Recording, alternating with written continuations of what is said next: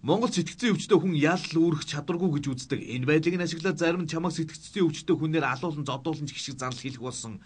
Ер нь тэгээ ял завшаад байгаараа ирж байгаа хүмүүсийг бас сэтгцэн өвчтөе гэхээс өөр хэлэх арга алга. Тэд улсаас их хэмжээний мөнгө завшиж байгаагаа болохоор яач ирүүл биш. Гэтэл зарим жолооч нар нь усгал сүрж дахиад мөргөлдөж тоглоод байгаа сурагтай. Угаасаа нөгөө урсгалаар нөөрдөн машин ирнэ гэдгийг мэдсээр байгаад ингэж явж байна гэхээр бас сэтгцэн юмтай болж таарч байна. Нийгмийн сэтгэл зүйн хоосрол энэ мэтэр гарч байхад зэрлэг балмад хэрэг бүр газар авч байна.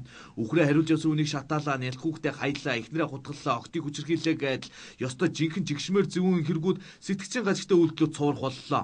Ядаж байхад энэ нь ганц нэгээрээ биш бүр бөөн бөөнөр гараад байгаа сони юм. Дэлхийн сүнэг тухай зарим нь ярьж түнд нь итгэжсэн зарим Монгол гэрийн үнийг тэнгэрт гадааж лааны үйлдвэр ойрд хойжод байгаагүй ашигтай ажиллаж байгаа гинлээ.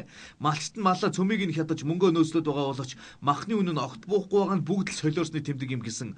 Өдий том болцоод үлгэр титгээд гэдэг шиг дэлхийн сүнэг гэдэгт итгээд л явж байна. Дээрээ гүйдлээ олохгүй доороо суудлаа олохгүй гэдэг шиг л буйдантай жагсаал хийж төрийн ордонд цүүд майд боллоо. Улсын хурлын дарга хийж явсан 3 хүн, засгийн газрын сайд хийж явсан 2 хүн нь Энэ мэтчлэн байж байгаа нь бас солиорч нэлтэмдэг бах. Дэлгэсэн тэрлэг шиг нутгийнхаа товчны хэмжээтэй газар шаваарлуулж барилга бариад байгааг ус эрүүд гэлж хит хит хэцүү болцоход байна. Гадныхан хөрөнгө гэхээр хуйлаараа дарамтлаа төөгөөж явуулчих нь. Тэгээд өөртөө хадлангааж хадахгүй сүрт суугаа дампуурчдаг гэж байгаа. Тэгэхээр энэ улсад сэтгцэн эрүүд хүн юу нь байна гэж юу? Сэтгцэн гажигтай хүнд эрүүд хүмүүс нь тэнийг юм шиг харагдаад өөрийнхөө ертөнцид жаргаж явдаг юм гисэн. Монголчууд бид л бүгдээрээ өөрсдийнхөө ертөнцид жаргаж яваа юм байх.